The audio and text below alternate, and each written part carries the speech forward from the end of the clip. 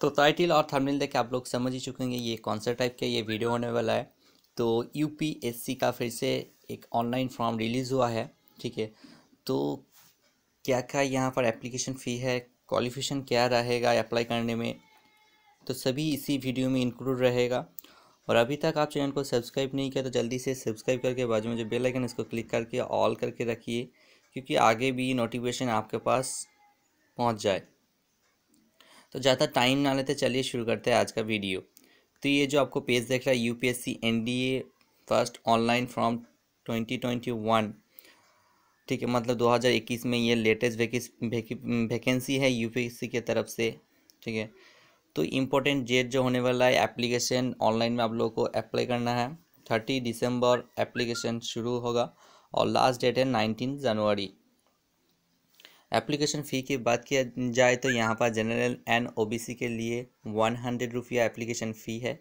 SC and ST के लिए कोई फ़ी नहीं है।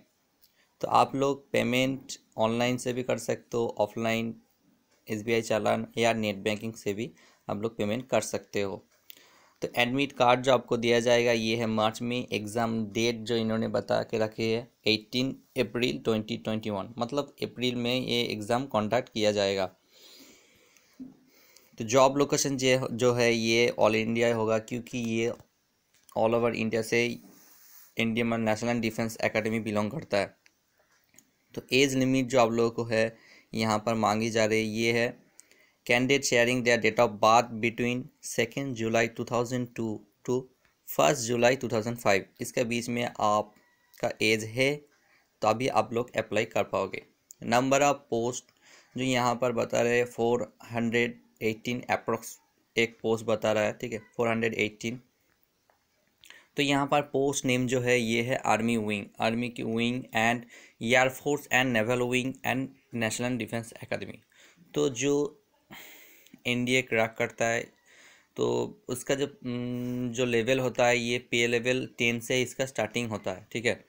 तो आर्मी के तरफ़ से यहाँ पर जो वैकेंसी है, डायरेक्ट ऑफिसर रैंक में इसका भर्ती होता है।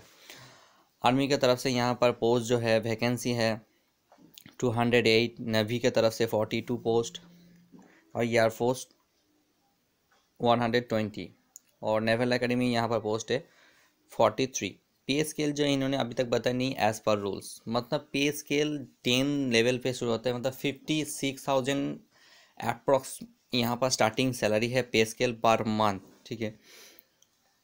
एजुकेशन क्वालिफिकेशन जो है आर्मी विंग के लिए, आप लोग को यहाँ पर जितना भी ये है, ठीक है, आर्मी विंग के लिए आप लोग एजुकेशन क्वालिफिकेशन जो है आपको ट्वेल्व पास करना है साइंस से, तभी आप लोग अप्लाई कर पाओगे एयरफोर्स नेवल विंग या जो नेवल एकेडमी है सभी के तरफ़ से।